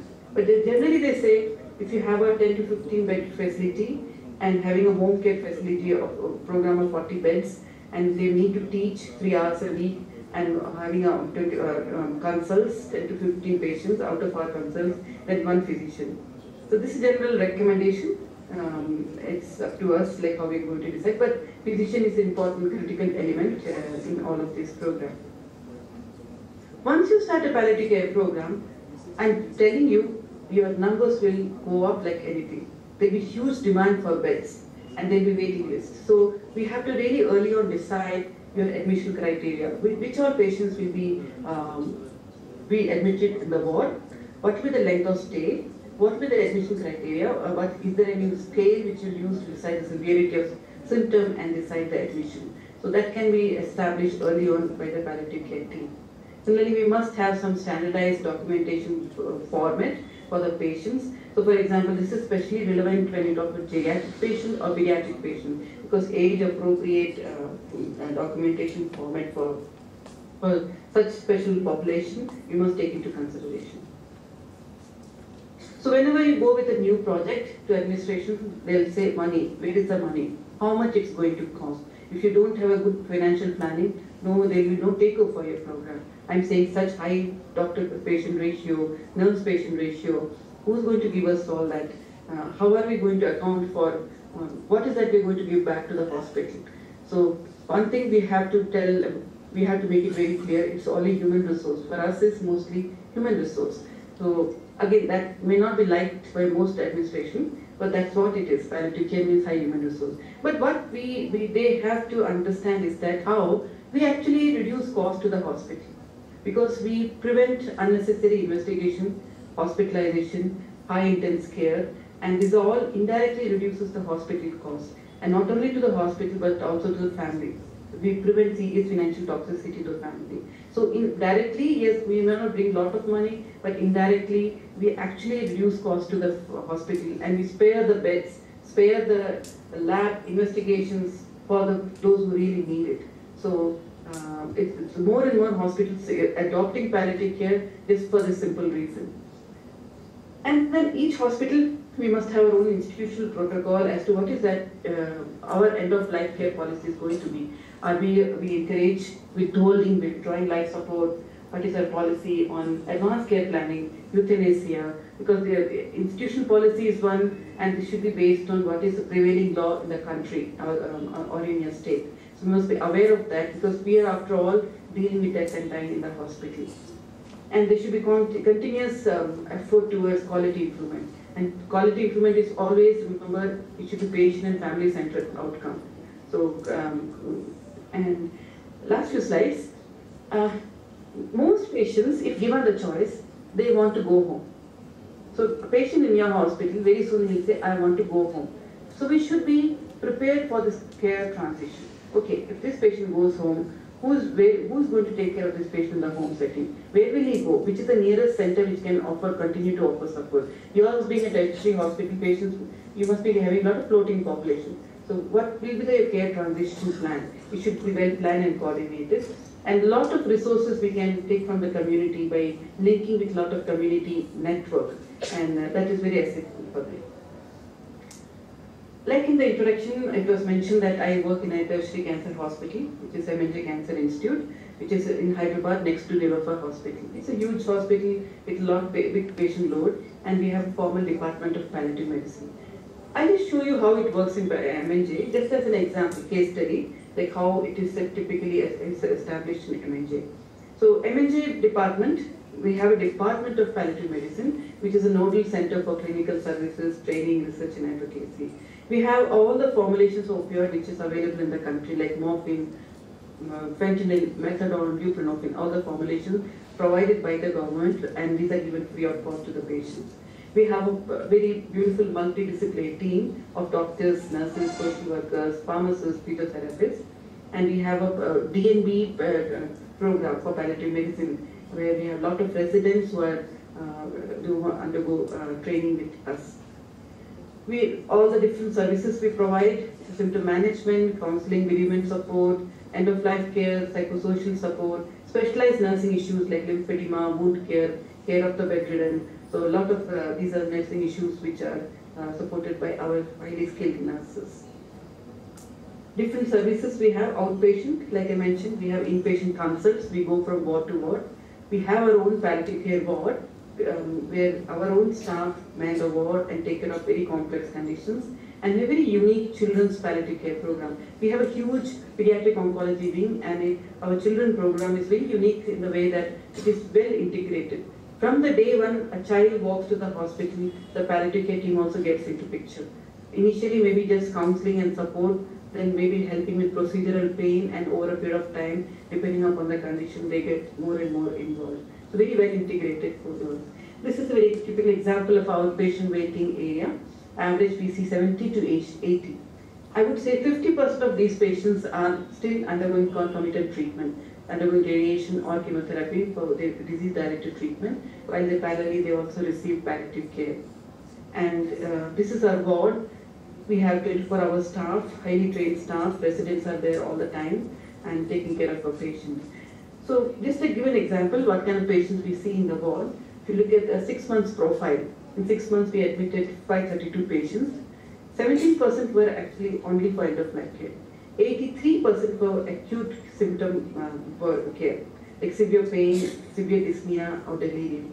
So end-of-life care were only for 17%, whereas huge turnover, because of this reason, huge turnover. They get symptom better, they say, okay, I'm going home, and then they come back to the outpatient. So this is how we, uh, the profile of the patient in the ward.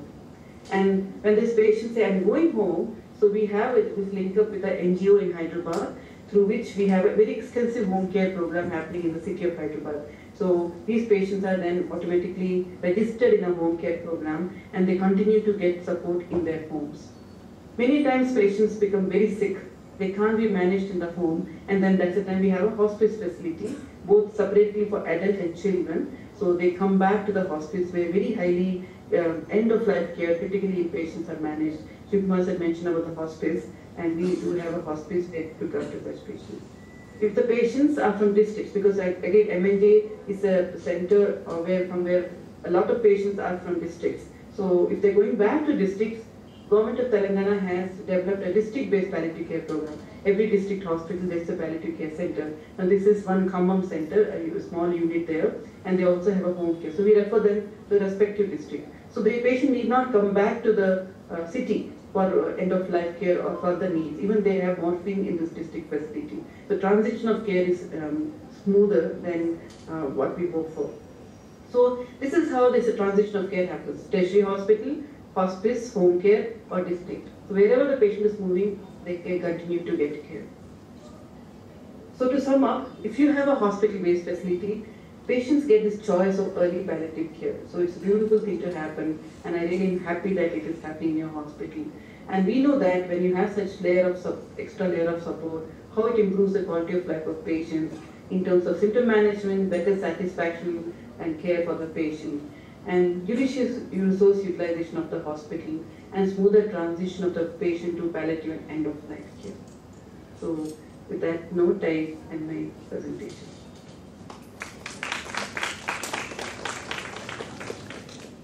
Now, next I would like to invite our organizing secretary of today's CME, Professor Pranabandhu Das sir, to deliver the talk on scope of services at PPW SBIO SVIMS. How are we doing? Om Namo Venkateshaya. A very good afternoon to one and all. So, so I would like to say the briefly about uh, the the scope of services uh, at the pain and palliative care wing, PPW. So in SBI SVIMS. So as you know, the theme of this year of the World Hospice and Palliative Care Day is the resolution since 10 years. So, how are you doing?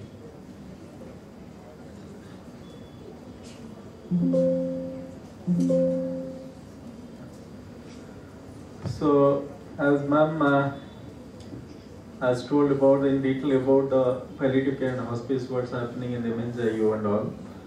So, we started an humble beginning since two years. So this all this start of our journey started uh, from uh, the 7th to 16th December 2022 with the organization of the programs as a 10 days workshop. That's a 10 days foundation course in palliative medicine foundation uh, of course of palliative nursing. So uh, trying to uh, offer the skills and the, the enhancement of the skills amongst the 15 and uh, around 30 doctors as well as paramedical staffs. Then uh, after that, uh, within three months, we got the sanction of the administration. So on 4th February, the World, World Cancer Day, we got the privilege to start our uh, the, the pain and palliative care wing at SVIMS, which is located in the fifth floor of the Sri Padmavati Medical College Hospital. So it's being inaugurated by the Honorable Collector that time and uh, JU and uh, Bengam Madam and uh, Vice Chancellor of the Vedic University. So these are the few reminiscences for uh, the, the 4th February 2023. So at present, so what the services we are catering at PPW. So the primary services, uh, whatever is being offered with the, the close collaboration by the four departments. So radiation oncology, anesthesiology, community medicine as well as nephrology. Because uh, the majority of patients now in the palliative care ward is nephro. So in the cross consultation with other specialties and super specialty in SVIMS and SPMCH. So uh, the at present, uh, uh, since nearly two years, we have the provided the nearly thousand patients in the OPDs. We have seen nearly thousand patients in OPDs. Then uh, nearly 500 patients in IP, and more than 200 patients in the day. So this is uh, the small uh, the statistics we got. So since two years, whatever uh, these are our activities. So for the inpatients, the admission and discharges and uh, the palliative care services, whatever you offer. And uh, these are certain activities, uh, whatever is happening, because now the interns, so those who are coming for their weekly, the peripheral posting, so they're getting trained, they're just sharing our uh, the experience with them and in the OPDs as well as IPs. And uh, as you know, the who needs palliative care. So as ma'am uh, has told very clearly that MNCIO is broadly offering the oncopalliation as part of institutional protocol. But in the periphery, as part of the hospice and all, they are offering other palliative care services. So here the oncopalliations for the cancer patients, neuropalliations, as you know, for the paralysis and dementia patients, the nephropalliation for CKD and the bright stage uh, renal disease, pulmonary palliation for the COPD, interstitial lung disease, cardiac palliation for the cardiomyopathies and heart failure patients, then uh, the debility and old age patients, and uh, the bereavement patients, as Madam has told very clearly, uh, how the is a part of the protocol, end of life care as well as bereavement. So, which is mostly offered to the family and close relatives. So here uh, I would like to highlight what we have been offering is mostly uh, the oncopalliations, apart from that nephropalliations and uh, the pulmonary palliations too. So you can uh, see, so broadly we are covering in the three categories, onco, nephro as well as pulmonary palliations. So, so what are the achievements? So the achievements we, we, we, we have uh, we had a humble beginning again same thing whatever experience and knowledge we have for last one and a half years the other two years so we have given the training uh, to nearly 150 doctors those on the periphery psc csc and uh, the area hospital doctors and 500 working staffs mostly the ANMs MLSP and ASHA workers as part of our district cancer control programs. And um, you have offered uh, the nearly the training as well as is a part of their peripheral postings nearly 250 interns since two years.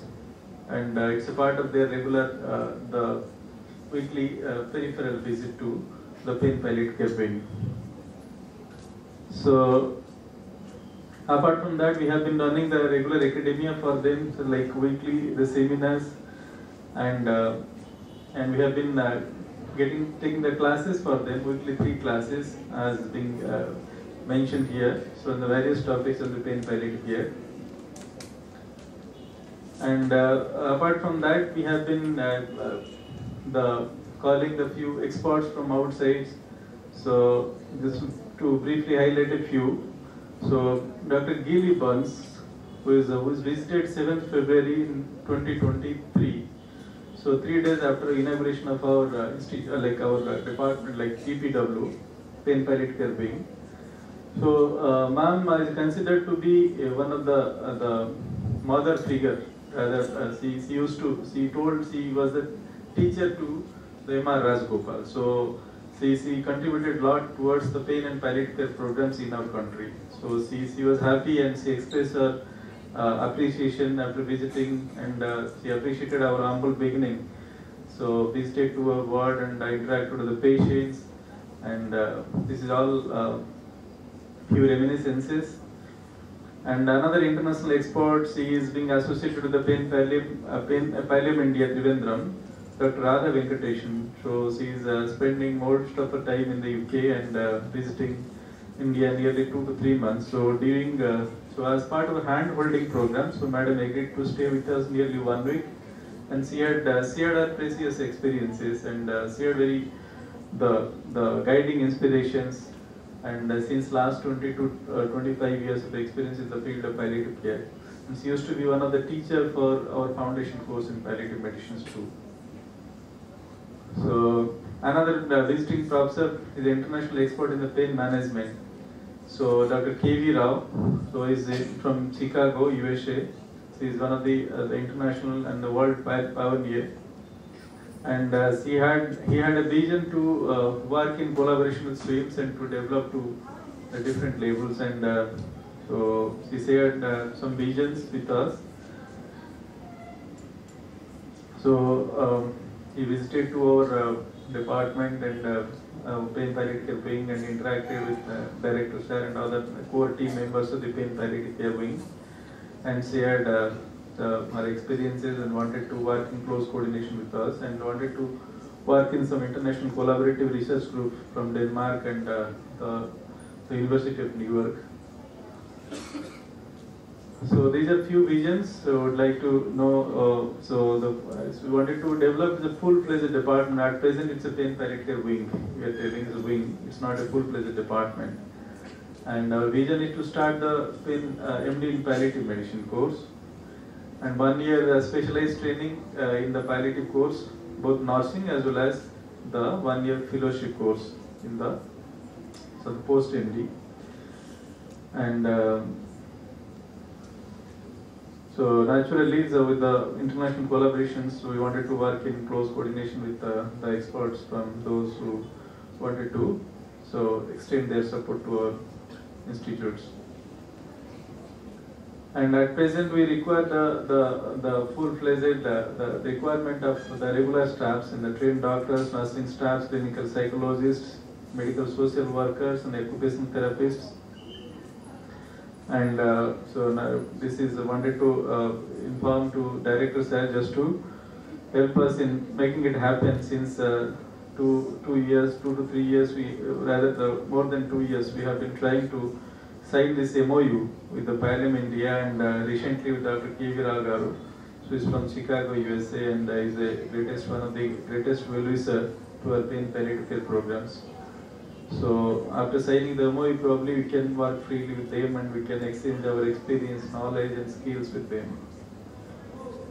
And the current services, uh, as I highlighted earlier, so there is a dedicated uh, the trained um, the team who is trained in the treating the various aspects of the pain and availability of the narcotics, soapiates and other adjuvant drugs. So daily OPD services from 2 to 4 p.m. all working days. Daycare services for the patients requiring observations for a few hours. Then the separate uh, the air conditions 8 beds in a 30 bedded IP wards. So at present we are running with 8 beds. So our new facility is getting ready within 3 to 4 months. So we'll be having the 30 bedded IP wards facility for the patients requiring the admissions and as well as daycare support. And uh, so all supports whatever we're extending, we're trying to uh, do it within 24 into 7 as whenever needed in uh, cross consultation with uh, other departments, specialty and super specialty departments. So these are the few reminiscences when uh, so interacting with the experts from outside those who came and interacted with us. These are the last programs whatever we have organized. So six months back. So thank you, thank you one and all. Patients will come to our palliative care OPD. There are uh, two scenarios uh, like we have we want to explain to everyone to understand how palliative care works in coordination with uh, curative and definitive treatment. So in the first case, uh, one patient is there. His name is Ramaya.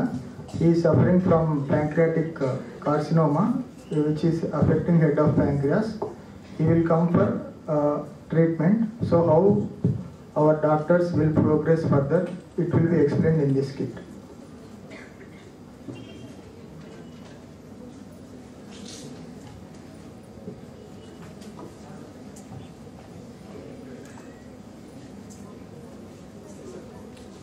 Re-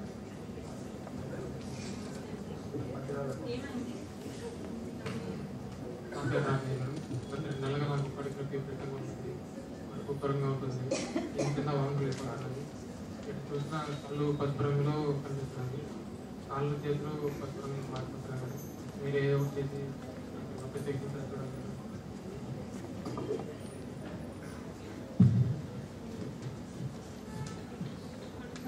madam. చాలా ఉంది. ఉంది. Sir ఇది one మంత్గా చేయించాను sir cancer నుంచి sir వాళ్ళు ఇంకా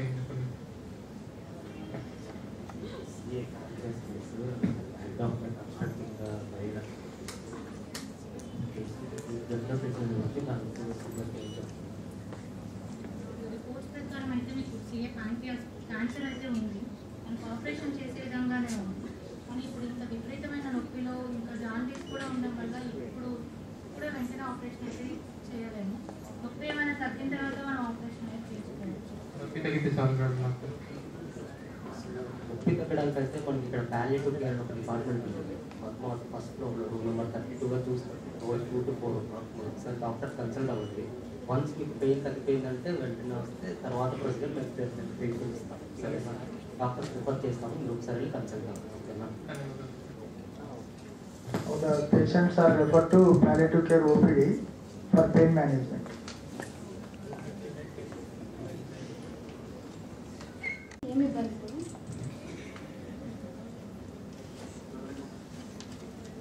నెలగా కడుపు నొప్పి విపరీతంగా ఉన్నాను వంకలు అయిపోతున్నాను కడుపు ఎటు చూసినా పసుపు కలర్లో రంగులో కనిపిస్తున్నాయి. కాళ్ళు చేతులు ఏదో ఒకటి చేసి మీరే అది మీకు ఇప్పుడు కడుపు నొప్పి కాకుండా ఇంకెక్కడన్నా నొప్పిగా ఉందా? ఉపయోగం ఉంది మేడం కడుపు నొప్పితో పాటు వాంతులు బేదులాగా ఏమన్నా వాంతులు అవుతున్నాయి. మేడం ఓకే ఒకసారి ఇప్పుడు రిపోర్ట్ చూస్తాము మీకు ఈ జబ్బు గురించి మొత్తం వివరించారా? ఏం చెప్పలేదు మేడం. అంటే ఒకటి స్కానింగ్ చేయించాము ఇంకా మీ దగ్గర వైద్యం బాగుందంటే మీ దగ్గరికి వచ్చాను మేడం లేదు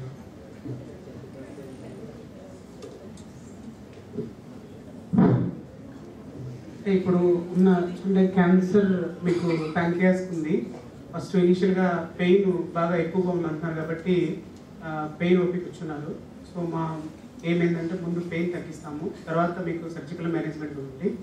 సో మాకు అంటే ఇక్కడ స్విమ్స్లో పెయిన్కి సంబంధించి స్ట్రాంగెస్ట్ మెడిసిన్ ఉంది. మేము పెయిన్ మెడికేషన్ ఇస్తాము. అబ్జర్వేషన్ పెడతాము ఒక one hour.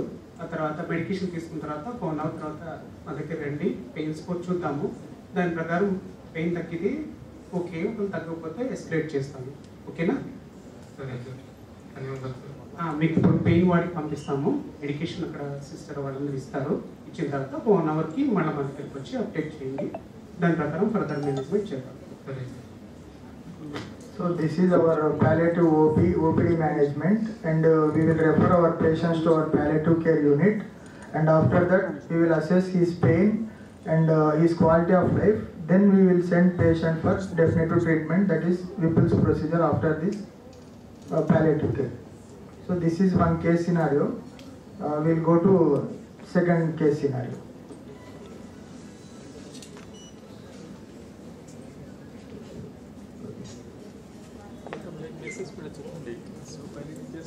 This is the message of this skit. I would like to request the organizing secretary of today's event, Professor Pranabandhu Das sir, to deliver vote of thanks. So I feel deeply humbled and privileged to stand here to offer the vote of thanks. So at the end of the uh, events. So at the outset, I would like to extend my the profound gratitude at the lotus feet of the the divine Lord, Lord Venkateshwar Balaji. Then I'm uh, extremely grateful for the, the kind presence of our director cum chancellor Professor R.V. Kumar Garu.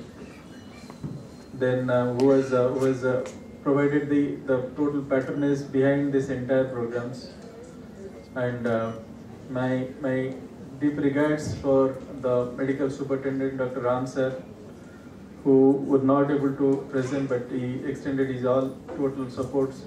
So in in taking shape of this entire programs. then Aladimon sir, uh, the Dean Aladimon sir, then uh, Madam, uh, Register Madam Aparna Bitla ma'am, then our organizing chairpersons, so Narendra sir, who was the, the man behind uh, this uh, articulation about the skate program. So I was so happy for getting this innovative idea and uh, probably our audience must have been so inspired from this and getting the message, clear cut message from this skate play and all. And uh, our Sudharani ma'am from uh, the College of Nursing principal, then uh, our uh, Madhav ma'am from the College of Physiotherapy principal, and other dignitaries. So then the entire audience from the BPT, MPT, the BSc nursing as well as the the MSc nursing students. So without your participation, these programs would not have been achieved its fruition. So I'm extremely grateful before all of you.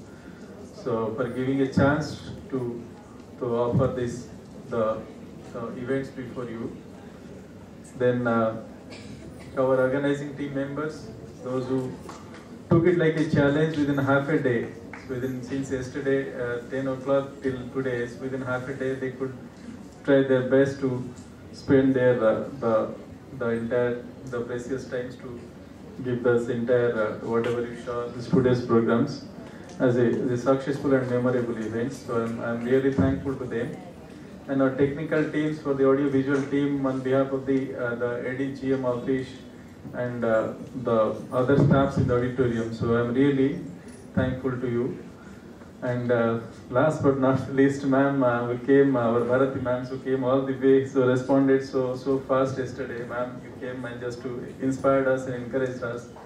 So thank you so much, ma'am. Thank you one and all. So last uh, uh, uh, events of the day is uh, to have a group photography. So I would like to request to our organizing team and uh, all our core team members, including Bharati ma'am and uh, Sudharani ma'am and all, just to be here to have a group photography as a as a reminiscence of this today's event.